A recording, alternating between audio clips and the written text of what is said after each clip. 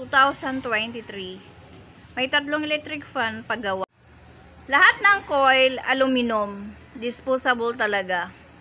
Kaya pag bibili kayo, watch out.